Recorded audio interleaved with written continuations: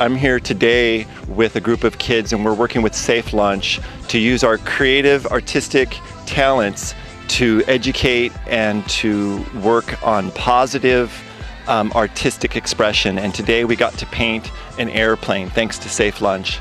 Hi, my name's Mandy and I'm 12 years old.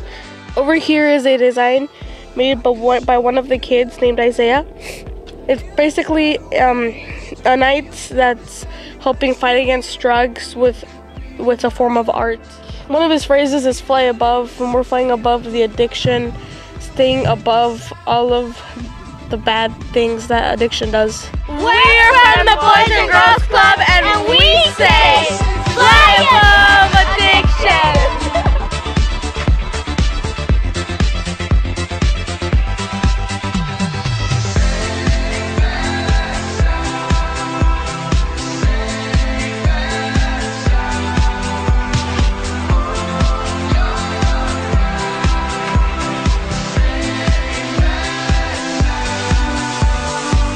My name is Danny Meza. Um, here at the airport painting this airplane with the youth.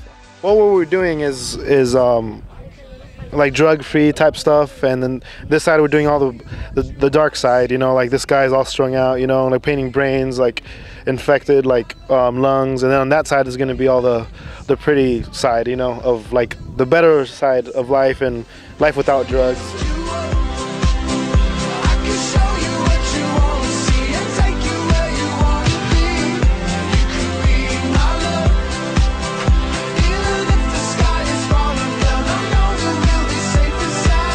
Uh, we're with a program that we run out of the Franklin Center called Santa Barbara Arts Alliance.